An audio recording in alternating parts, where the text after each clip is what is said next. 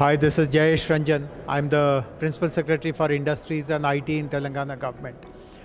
It is my pleasure to participate in the 2022 edition of Cold Chain Unbroken.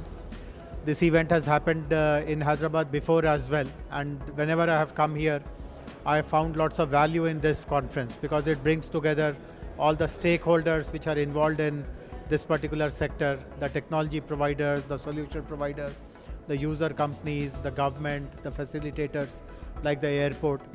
Cold chain's importance can't be further emphasized because in the last two years in particular, we have seen how billions of vaccine doses have been shifted from one place to another throughout the world and potentially millions of lives have been saved because of the correct administration of those uh, vaccines.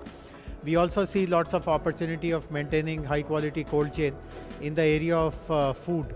Lots of food is grown, but the farmers don't get complete value out of it because they perish.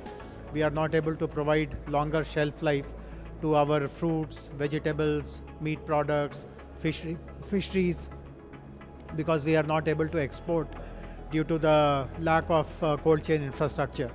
This is again an area which is very important to us in Telangana government. We want uh, better uh, value realization at the farm level and uh, therefore I, when I spoke here, I urged upon all the stakeholders to look at uh, very implementable, scalable and of course affordable solution for food wastage as well.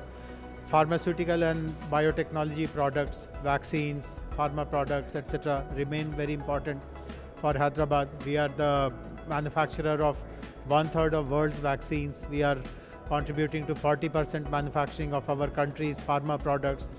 We export to nearly uh, 160 countries from here. But again, the relevance of cold chain can never be underemphasized. We require more and more innovation, advancement of technologies, advancement of knowledge, etc. And I do hope that uh, this conclave, the Cold Chain Unbroken 2022, will help us in uh, taking our agenda to the next level. Good wishes once again to all the organizers.